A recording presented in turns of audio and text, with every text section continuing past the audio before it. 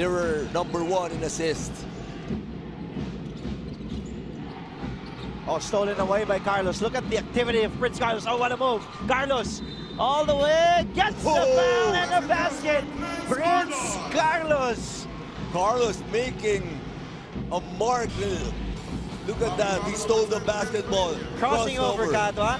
And then bumping bodies and getting that basket to count. Ganda ng body control na ito.